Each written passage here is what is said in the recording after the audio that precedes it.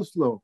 Uh, normally, I welcome our speakers who are hundreds of miles away, but as Gunther just mentioned, Laszlo Borhi teaches here at Indiana University. So it's a special pleasure to have him with us as a speaker.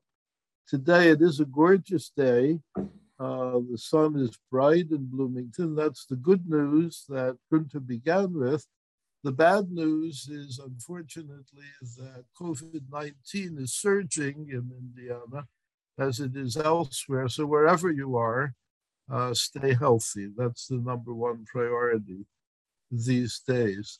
Anti Semitism, as we all know, dates back a long, long time. And in our own day, it's become a global phenomenon, unfortunately. A number of our webinars have focused on its presence in particular countries. We've taken a hard look at developments in the United Kingdom, in France, in Germany, in Poland, in Lithuania. Today, thanks to Professor Borhi, we're going to travel back a bit in time to Hungary uh, and he will talk out of great historical knowledge and also a certain family connection as well to the events that he's going to describe. Um, Professor Borhi teaches at Indiana University, where he holds the Peter Kadas Chair in the Department of Central Eurasian Studies, uh, a department that dates back over many years. I myself have been in Indiana long enough to have known many of the founders and um, extremely prominent scholars who've taught in this program. Denis Sinor came to Indiana in the 1960s from Cambridge University and got things started. Um, the eminent historian György Ránki was here for a number of years. He was succeeded by an equally eminent scholar, this in this case a literary and culture scholar, Mihály Szegedy-Maszák. And uh, Professor Borhi continues this distinguished line by his own presence. Uh, Indiana has also been host to a number of other Hungarian emigre scholars and artists, including Thomas Sebeok, the father of semiotics, and the great cellist János Starker. So we have a strong tradition here in Hungarian studies, and it's going to be represented today by the talk you will soon hear. Um, Professor Borhi has published a book on Hungary and the Cold War, the immediate post-war years, 1945 up to 56. He followed that with a book called Dealing with Dictators, which Indiana University Press published. And I learned just a few minutes ago he's now completed the Hungarian version of his next book. Its English title will be Survival, Life and Death Between Hitler and Stalin, 1944 to 1953.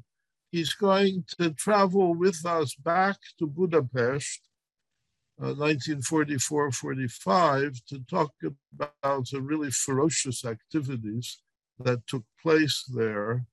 Uh, it's my pleasure to hand over now to Laszlo Borhi. Uh, thank you so much, Professor Rosenfeld and uh, Professor Ikeri, Arvin, and Günther for giving me this opportunity to present on my research, which unfortunately remains very relevant to this day, even though the topic, the presentation itself will be more of a historical nature. Uh, you will have to forgive me, I don't like to do this. This is not a well rehearsed presentation. I usually don't like to look at my notes or read my talk, but this time I will have to make an exception. Uh, so I will not be staring in the void. I'll be looking at my talk on the screen. Uh, so please bear with me. Uh, on Christmas Day around midnight, a detachment, uh, midnight, uh, Christmas Day 1944, around midnight, a detachment of armed Arrow Cross servicemen raided the Salesian Institute, located only a few blocks from the 3rd District Arrow Cross headquarters in Budapest. They had correctly suspected that the Salesian monks were concealing Jews in the building. The children hiding with fake documents pretended that every, everything was all right and celebrated Christmas with their peers and the monks. The Arrow Cross men in their terrifying uniform carried out a biological screening to determine which one of the boys there were Jewish. Under the cover of the night, they escorted their victims aged 6 to 15 to the freezing Danube River and picked up two more individuals randomly on the way. They lined them up by the river and opened fire from very close range. Only one boy survived of, of the 13 taken to the Danube. Before the shots rang out, he asked the guards whether there was any mercy. He was told no. Thereupon he jumped into the river. There was no forgiveness for the Jews. Uh, as I mentioned, uh, Professor Rosenfeld mentioned that I have both a scholarly and a family interest in the story. And the family uh, connection is that this little boy who jumped into the river happened to be my father.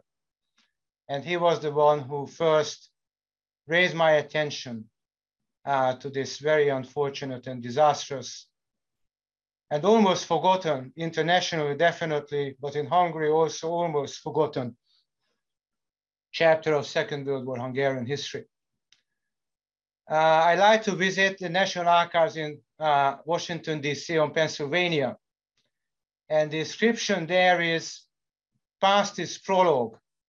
The, the present cannot be understood without an in-depth comprehension of the past. So this talk will focus on the anti-Semitic mindset then and what it may tell us about the present through an inquiry into the mindset and motivations of eliminationist anti-Semites, the perpetrators of the crimes of 1944 and 1945, and the conditions in which they operated. These events had to be reconstructed in anatomical detail. And also, as uh, Professor uh, Rosenfeld mentioned, this research took place in the larger context of a book project on survival in terroristic spaces. One part discusses the Hungarian Holocaust, the second part, Arrow Cross Terror in Budapest, and the third part, Stalinist terror in Hungary, 1948-1953. Uh, the sources I used for this particular chapter or part of the book and this presentation are police and court documents and to a lesser extent, oral testimony. It discusses extreme violence and the question arises where violence is to such an extreme that it is called atrocity it may appear to defy description and exceed the limits of our understanding. Can these acts be understood as anything other than evil? Uh, this question was asked by a scholar who has written about contemporary atrocities in Sierra Leone, but I think that this question is equally applicable to the monstrous crimes that were perpetrated in Budapest in 1944 and 45. Now, for those of you who are less familiar with uh, the historical background of these events, so just in a nutshell, uh, the situation in Budapest in 1945 uh, is such that uh, in October 44, after the Germans removed the elderly and inept Hungarian regent Miklos Horthy they installed to power the radical right-wing Arrow Cross Party uh, headed by uh, Ferenc Szálasi. He was propelled to power after Horthy's failed effort to quit the war. And in the midst of Budapest strategic bombing, with a very large number of civilian casualties, and most importantly, the siege of Budapest, which was one of the bloodiest and largest outside of the Soviet Union, in the Second World War, uh, the gradual erosion of civilizational norms during the door-to-door -door fighting, with law and order collapsing, and even the police intimidated by the Arrow Cross armed militias. Uh, the first very interesting finding, and it's a warning for today, that these uh, terroristic units had a grassroots dynamic. As district leader Celeb Cheney put it, to the Arrow Cross men immediately after they came to power and were handed out weapons. Why are you loafing around at a time of struggle? Afternoon tea parties and merrymaking are over. Arrow Cross Party members have to show what they are made of at times like this. The statement shows that despite the party's severe and ferocious anti-Semitic program and rhetoric and indoctrination, it did not necessarily indoctrinate its followers to commit acts of violence. Many memoirs, actually, Arrow Cross Rank and File memoirs, refer to the fact that party life often consisted of socializing. Atrocities, atrocities were not ordered by the top party leadership, leadership, which of course did nothing to rein them in either. In fact, Joseph Gera, one of the party leaders, issued a press release asserting that the party had not instructed anyone to loot or to commit atrocities. Anyone who, he added, abuses official power, that scoundrel, bitang in Hungarian, will be shot in the head.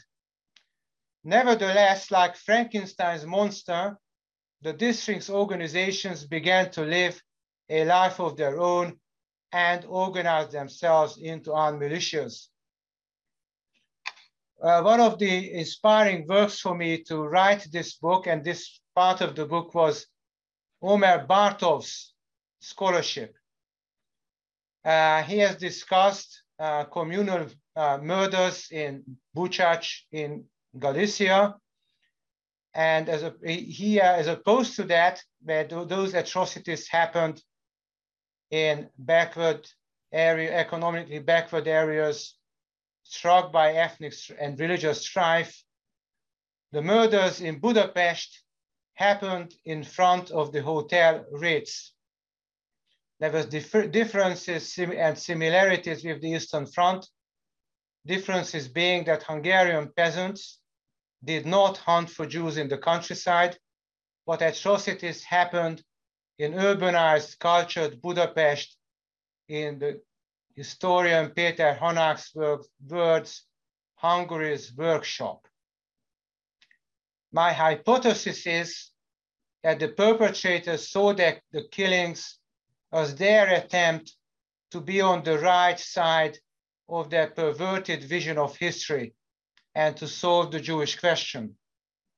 Having said that, Gentiles, the helpers of Jews, members of the old elite, affluent individuals, and mainly deserters from the Hungarian army were also victims, albeit in much smaller numbers, and, but the only group systematically targeted was the Jewish group.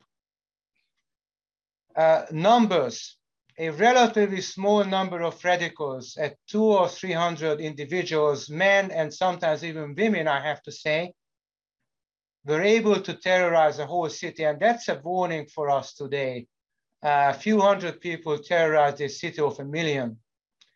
The number of casualties will never be really known.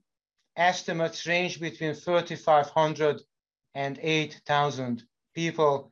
And this, is, uh, this does not include the individuals that were permanently maimed physically or psychologically by the ter terrible atrocities committed against them. Uh, Holocaust is the Holocaust is sometimes uh, uh, interpreted economically. There's an economic interpretation, and uh, this is um, an interpretation uh, that uh, um, could easily be, easily be applied to the events of 1944-45 in Budapest. And in fact, a verdict pronounced in 1948, uh, uh, in, in that verdict, um, the judge said, the perpetrators were the Hungarian executioners and servants of raging Hitlerism. The motivations behind the more serious evils was robbery and the graver part of the atrocities was carried out in order to reveal where the valuables were hidden. The identity of the victims remained unmentioned. Uh, there's also, this uh, is uh, a very characteristic interpretation, uh, problematic on many levels. Uh, number one, that it deprives the perpetrators of agency.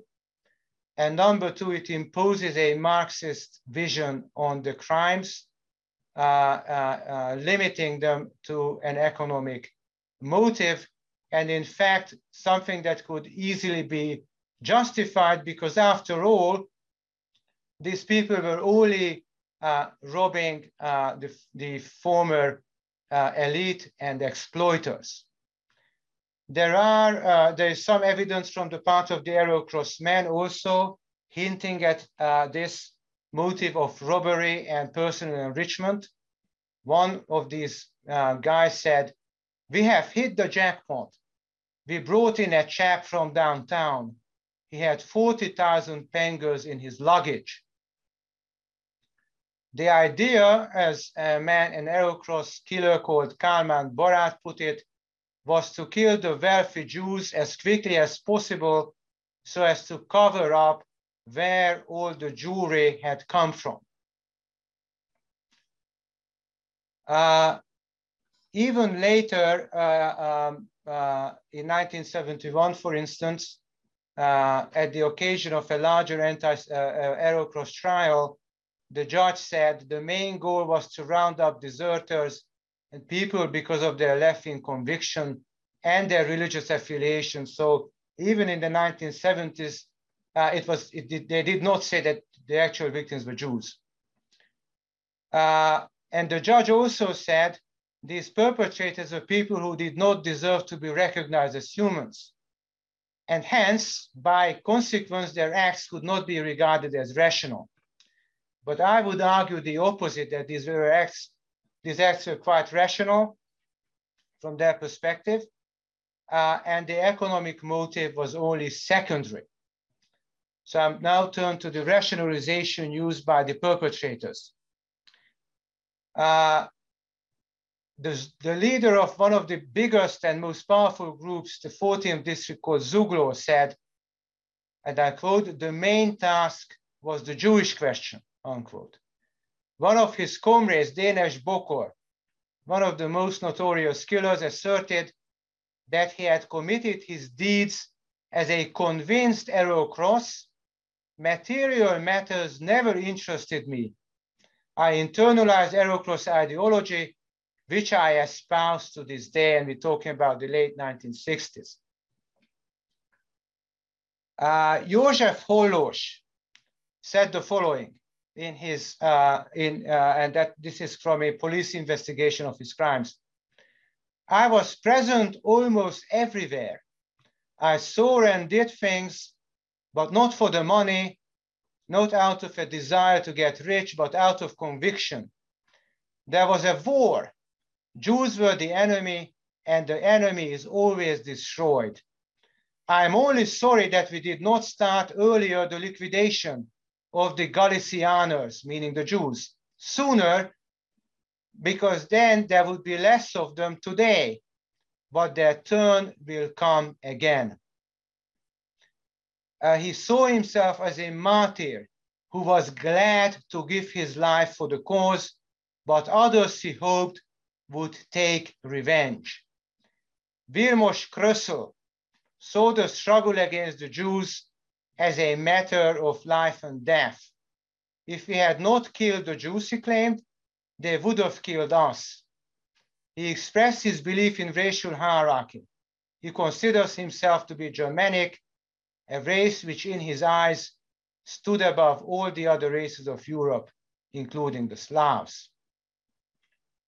Uh, and compare these quotes uh, to uh, what a police secretary of Vienna wrote to his wife, aiming calmly at the many women and children and infants with whom these hordes, meaning the Jews, would do the same, if not 10 times worse.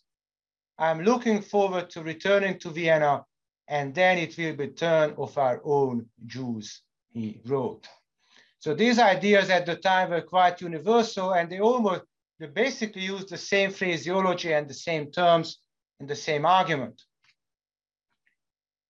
Ferenc Pataki lent historical legitimacy to annihilation.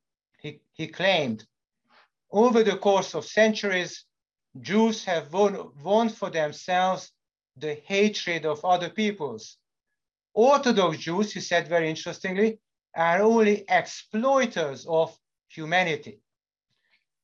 Uh, if one looks at the documents very closely, one can discern the motive of the protection of the purity of the blood. The fiancé of a beautiful blonde girl, a Jewish man was executed. And I mean, the fiancé of, of a Jewish man, a very beautiful, as somebody remembered, young blonde girl was executed simply for the reason that she was the fiancé of a Jewish individual. And I don't, I'd like to avoid uh, recounting the atrocities, but at this point I have to, I have to um, say that uh, the genitals of a certain Dezső Mandl were smashed in front of his, of his uh, fiancée, or also suggesting the motive that we have to stop the mixing of blood and the procreation of the Jewish race. Jews, they said, control everything. Once they were defeated, one man claimed, we would be able to reclaim national sovereignty lost to the Jews. One of the most vicious criminals, uh, Pater Kun, claimed, our people have been tied up to the Hungarian people. Uh, sorry, our people have been tied up. The Hungarian people have been enslaved. The Jews want to bleed uh, Christian people's white. So in fact, to paraphrase Peter Gay, uh, the anti-Semitic Elibar aggression shifted to pessimism, and as he put it, transformed into self-protected policy of great races in danger, namely the motive of survival, the mentality of it's either us or them. Also very interestingly, and this is um, a reflection of the uh, presentation presented by Professor Patterson just last week, the meeting of abstract hatred with the concrete. The individual could be good and be saved, but the collective is guilty and dangerous.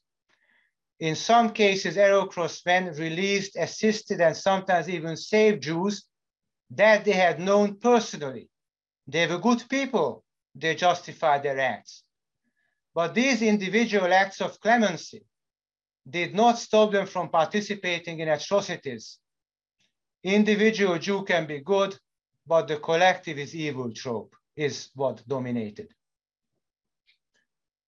And having said all this, eliminationist anti-Semitism and economic motivation were not mutually exclusive.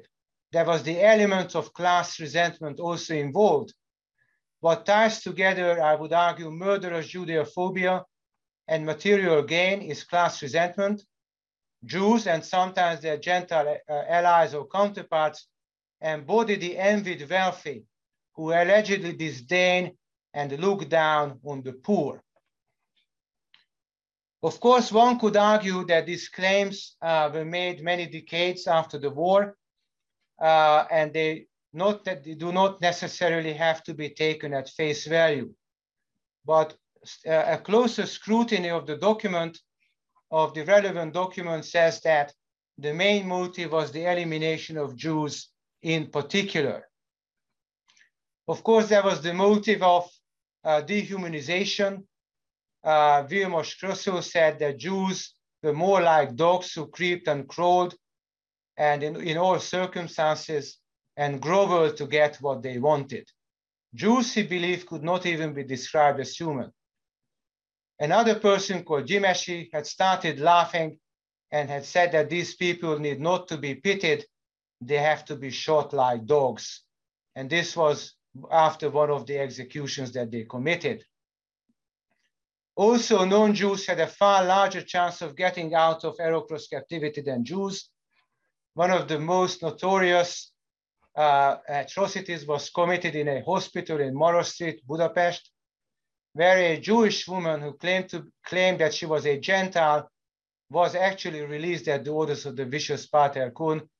All of the Jewish infirm, on the other hand, or most of them, I should say, not all, but most of them, were murdered. On one occasion, uh, uh, one of the Arrow Cross perpetrators said, I could not understand how people could kill two-year-old to six-year-old infants.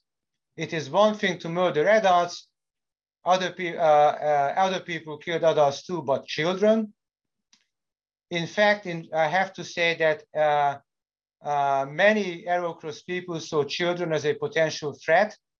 Uh, the elimination of offspring would bring about the final solution of the Jewish threat. I already mentioned the Salesian Institute, where young uh, Jewish uh, boys were, uh, were the targets. There was no other gain, not financial, nothing except the murder of these children. there was another raid also uh, at the uh, convent of the Sisters of Divine Love in Buda. And there the targets were little girls. Uh, all of them were taken away and most of them were murdered. And they too went through what they called biological screening. This time it was looking at their profiles to determine who was Jewish. Uh, furthermore, atrocities committed went way beyond what was needed to disclose hidden wealth and even sexual atrocities were committed. Anti-Semitism was an immensely serviceable alibi for aggression. Pater Kun, as somebody remembered, murdered with raging passion. As he himself remembered, I renounced the human and the priest in myself. In fact, in 1971, in pronouncing his verdict, the judge said, before killing their captives, they profoundly humiliated them in their self-esteem and human dignity.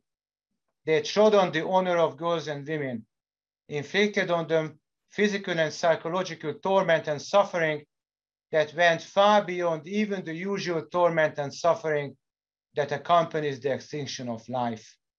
Death was almost a redemption. In fact, many sexual atrocities were, were committed a free rein to sexual desire was wound up with aggression. They mixed sexual excitement with aggressiveness and sadism. The murders were pre-modern in nature. Oftentimes, uh, many people were beaten to death with hands, fists, kicks, truncheons, and shooting from a very, very close range. They were very personal. What is very troubling is that not all the killers were vicious anti-Semites. There was a group dynamic involved. Not everybody took part, who were, took part were sadistic. They were taken along by the worst elements, intimidation by violent, dominating peers and superiors within the group, the demonstration of loyalty to the cause, uh, which could be proven by taking part in killing, and coercion by superiors who wanted to distribute guilt. Again, very troublingly, there was personal gratification involved. Some of the Arrow Cross men bragged about the number of Jews they sent swimming, as they put it, that he shot them into the river. There were also perpetrators who claimed to have suffered enormous personal anguish. But very troublingly, eventually they were able to get accustomed to killing. Killing was taken very seriously. After physical and psychological torture, the victims' hands were tied together. Armed guards, two uh, armed guards for every, there was an armed guard for every two to four prisoners who were told that if they stepped out of line or stopped, they would be shot, and they were. They were lied to, deceived, told that they would be taken to the ghetto. Therefore, the vast majority did not even try to escape. The ghetto could have, in the ghetto, they could have survived. The task of escorting Jews to the ghetto was a police task, but since the police tended to release the Jewish captives, the Arrow Cross wanted to make sure that this did not happen. Very briefly about individual agency. In many trials in and outside of Hungary, uh, some of the perpetrators were given lighter sentences because the judge claimed that they were victims of the times of uh, uh, uh their superiors. But I found uh, that uh, they were not always captives of an abstract transcendental force, such as the spirit of the times. Rather than execute their victims, for instance, one person deliberately shot into the ground from point blank range, allowing a woman to survive. So there were quite a few individuals who were able to uh, make the right choice and at the last moment step away from killing. Uh, so there was individual agency. Who were these people? I cannot overemphasize the role of indoctrination uh, by the ideology of hatred. Uh, Arrow Cross, uh, uh, an Arrow Cross program from the 1930s said, we demand the protection of Hungarian blood. Degenerate blood leads to the cemetery of nations. And they demanded, among other measures, outlawing marriage and sexual relationship with members of the Jewish race. So these people were very heavily indoctrinated with the Hungarian version of National Socialist propaganda. Very interestingly, none of these people were so to say barbarized by the war because none of them had ever served on the Eastern Front. Most of them fitted back into post-war society some even the ones who were not apprehended, so to, uh, I should say, some even with distinction at their workplace and they raised families. Only two had psychiatric issues. Most were found to be noble and even intelligent. They at, they at least had elementary education. At least one of them was very well educated. Two of the most vicious psychopathic killers suffered from physical disability. They all came from different social strata, although most, but not all of them from lower classes. So in fact, there is an impossible to generate a sociological rule of who would be participant of such atrocities. None of them were born killers. None of the perpetrators had been sentenced for uh, or known to have committed uh, atrocities prior to the war and none of them committed atrocities after the war. Only one of them was sentenced for taking part in a brawl. So these are normal, ordinary, this is by now a platitude, but ordinary individuals on the face of it, or most of them were. Some of them, but not some, but not all of them, had well-established anti-Semitic animus. For instance, Miklos Tuboy signed up with the intent, as I quote, to kill as many Jews as possible. But the motive of social misery cannot be discounted either. One person joined up and joined the killers because he was promised a pension. Some of the people who participated uh, suffered under the Great Depression, either their own or their parents' livelihood was destroyed by economic misery. Finally, there was no awakening as if this was a bad dream. Decades later, decades later, some of the killers expressed regret that they did not kill more.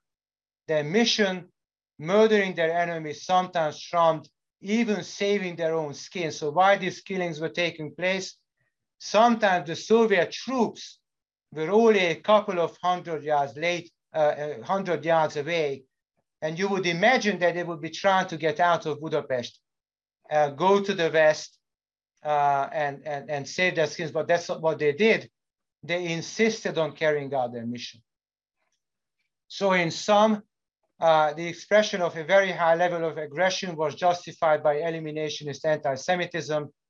Killing could be ser could serve as personal gratification of profound psychological need, rationalized by the defense of the purity of blood and the defense of the nation against a powerful and enemy in a demo-Russic invasion. Judeophobia could be justified by the opponent's alleged hatred and disdain, as well as material privilege. While the individual could be spared because of personal goodness, there was no forgiveness uh, for the group as a whole. Uh, very, very briefly only about popular reactions. Uh, Zygmunt Bauman has written that the lesson of the Holocaust is that when in danger, people turn away from moral responsibility and choose self-preservation. Uh, what is very surprising about Budapest is that despite the very large number of denunciations, sometimes fueled by petty reasons, not even necessarily anti-Semitism, but greed or even jealousy, there was a very, very large number of people who did not turn away from moral responsibility and tried to help in several ways despite the mortal risk. Quite a few of these people who tried to assist Jews by finding them fake documents, hiding them in cellars or even their personal apartments, were beaten to death by the Arrow Cross uh, for that action. And in fact, it was incredibly difficult to provide refuge because of the architectural makeup of uh, of uh, the buildings, the tenements in Budapest, uh, because of the disposition and the powers vested on the, on the janitor and the risks involved torture and even death to self and family. And as I said, despite, uh, despite these dangers and despite these problems, including tiny apartments, room and the kitchen, a very large number of people were hidden uh, um, despite all the difficulties. Uh, I could spend more time on this, and in fact, I have in my analysis in the book. I, I uh, don't think I have time for that anymore. Uh, I just want to reflect very briefly on the legacy. Now, the collective memory in Hungary is very wide apart from the one in Austria and Poland, for instance. Uh, in Austria and Poland, uh, there was the, the narrative of victimhood. Austrian national identity was constructed on that basis in Poland, there was the uh, there's the narrative of the martyr of nations in Poland, uh, and, and, Poland was a victim nation in the Second World War, which is causes uh, all these problems today with uh, collective memory, as highlighted by Professor Grabowski uh, uh, in his presentation. In contrast, in Hungary, the narrative was that Hungary was Hitler's last ally. So basically, Hungarians after the war were, were raised as, so to say, the guilty nation. Uh, that's how post-war identity was constructed. The, the, communist regime constructed its legitimacy on putting the previous political system on trial, uh, the trains to the second to the Second World War, and by extension to extension to Auschwitz, started in 1920. On the other hand, those small or individual small Nazis uh, as they put it, Kisnyilasok, small Nazis, were absolved of agency and responsibility. Uh, the Communist Party, like elsewhere in Europe, I have to say, recruited former Nazis consciously into their ranks. And the little man, they said, was a victim of Horthy fascism, and this actually complicates the memory of the events. There was also the notion of universal victimhood, Jews are mentioned as one of the many victims of, of Hitlerism. Uh, as the communist uh, publicist Joseph Darvas put it in 1945 already in an article that appeared in the Communist Daily, Jews will not receive special treatment. Um, the, uh, and as I said, there would be a universalist approach to suffering. Nazi crimes were investigated by the People's Tribunals politicized meant to confirm, uh, confirm the criminality of the previous regime and assist communist takeover. Defendants claim that they were beaten and tortured for confession by the political police, which is quite plausible. I found firm evidence that they even tortured a Jewish social democrat uh, uh, um, in, in, in, a, in one of these trials. Some of the people, some but not all, I have to say, some were good legal trials. Some of the trials, though, lacked all elements of legality uh, and smacked of revenge. And uh, um, uh, in some cases, uh, the defendants were not allowed to call victims. And this, all of this, all, the, all, of the, all of the problems with the post-war trials impedes our coming to terms with the past to this very day. Uh, after the 1940s, the closure of the People's Tribunals um, uh, trials, there were two major trials held uh, in, in the 1960s. It was called the Arrow Cross trial of Zuglo. And then in 1971, uh, the, the, trial of the so-called murderers of Buda. Uh, there was some, there's at least one scholar who attributed political, uh, political uh, motivations rather than an attempt to, to capture and, and, and sentence the, those Arrow Cross people who still remained at large. Um, I would not fully confirm that analysis. I think that at least from the part of the police and from the part of the courts, these were very legitimate uh, efforts to establish the conditions and circumstances of the killings and to uh, serve justice uh, for these atrocities uh, during the war. And in fact, most of the sources of my analysis came from these uh, two, uh, two trials. Uh, after 1990, uh, in fact, after, uh, the first of these trials uh, got a very large publicity, even a book was published on it. The second one, almost none. And then throughout the remaining two decades of the one-party system, literally this was erased from memory. And that was very much true even in the 1990s in the post-communist period uh, erased from memory is a direct quote from the mayor of the 12th district of Budapest. Although the quote refers to his grandfather killed in 1945, who has recently been revealed as one of the most vicious of the killers. And he has been erased from family history, and this could equally have been said about the Arrow Cross reign of terror.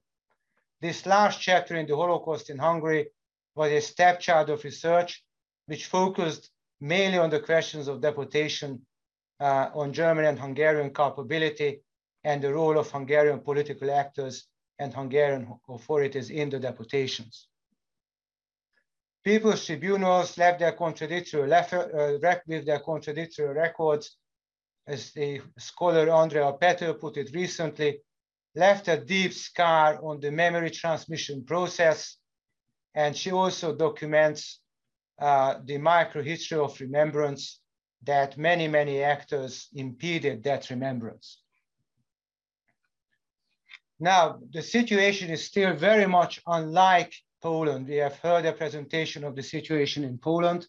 In Hungary, Holocaust research is not hindered by legislation. The archives are fully open, and there's a very lively, legitimate uh, scholarly debate on, uh, uh um, on, uh, on the Holocaust in Hungary uh, on, as I said, um, uh, Arrow Cross um, um, crimes were almost completely forgotten, and paradoxically, a relatively recent event gave a jumpstart to uh, and and and encouraged research. Uh, in uh, the mid 2000s, a memorial, a Turul memorial, was erected in the 12th district uh, for the civilian and military victims of the Second World War, which led to a huge outcry uh, because um, uh, the memorial uh, uh, used the symbol, the ancient symbol of the Turul, which on the other hand was hijacked by the radical right wing in the war period and even the Arrow Cross, and included uh, the memorialization of civilians and, and military victims, many of them uh, who were actually perpetrators of Arrow Cross crime. So this was uh, uh, in many circles regarded as an attempt um, to uh, um, um, um uh, whitewash uh, the crimes in Buda, which may, perhaps was not the main motive, but was a very unfortunate um, establishment of a memorial of Second World War events at, at the very least but it had a beneficial effect. So the it, it ignited an inquiry into this almost forgotten episode. Uh, uh, I don't want to uh, spend uh, much more time in enumerating the recent um, analysis of Arrow Cross terror in Budapest, uh, but they are incredibly interesting um, and delve even into the gendered interpretation by Andrea Pető, for instance, uh, the responsibility of the janitors, individual responsibility. Uh, for instance, there is uh, an analysis of ego documents uh, highlighting how, for instance, an anti-Semitic 14-year-old girl found sympathy for the innocent Jewish victims of the 1944 rampage. Burning shame was expressed publicly by Zoltán Pokorny, who erected this very unfortunate memorial. Uh, and uh, this admission of guilt, even though it was his grandfather who committed the crime, has to go a long way into uh, public, frank and open discussion about Hungarian culpability for the Holocaust. On the other hand, unfortunately, there's a memento that the past had not yet been learned. Uh, the Hungarian Guard uh, uh, um, uh, that was set up in 2007 was using Arrow Cross symbols, which unfortunately, again, was an ancient symbol hijacked by the Arrow Cross, the Arpad stripes, to instill fear and uh, it, it really showed the ease with which ordinary people can be mobilized in the protection of, for the protection of the nation. Of course, the two situations are incomparable, but I have to say that in light of this past, uh, this is a this was a very it was a highly dangerous move, uh, given the propensity of such units to start living a life of their own, uh, and it took almost a decade to take these people out of public space.